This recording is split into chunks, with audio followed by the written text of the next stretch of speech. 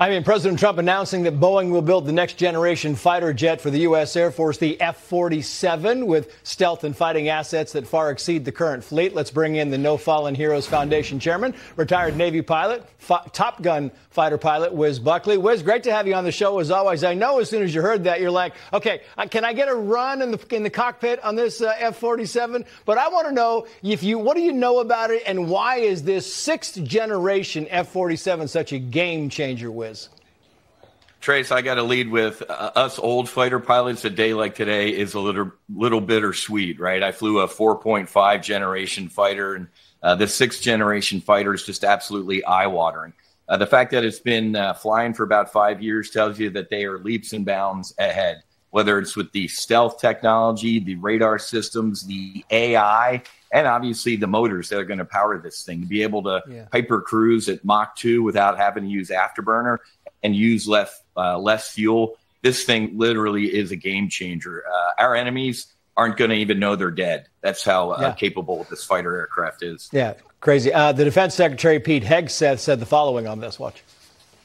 Now we have the F 47, which sends a very direct, clear message to our ally, allies that we're not going anywhere and to our enemies that we can we will be able to project power around the globe unimpeded for generations to come.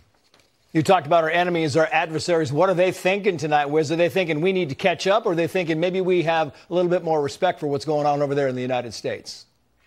Uh, initially, the respect, but uh, Trace, the Chinese steal uh, everything that isn't locked down. Right now, as you and I are talking, I guarantee you they're trying to hack in everything if they haven't already and they'll just copy and paste this thing. They've done that in the past. They do that all the time. It's like the old Mad Magazine spy versus spy. We we build something really really Gucci. Yeah. It gets stolen.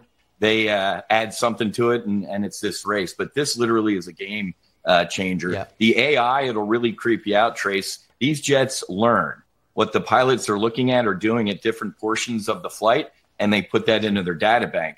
I'd say Trace the the last generation of fighter pilots. Mm-hmm probably in grade school. Uh, yeah. you, you're you, like Elon's uh, Musk shirt that says tech support.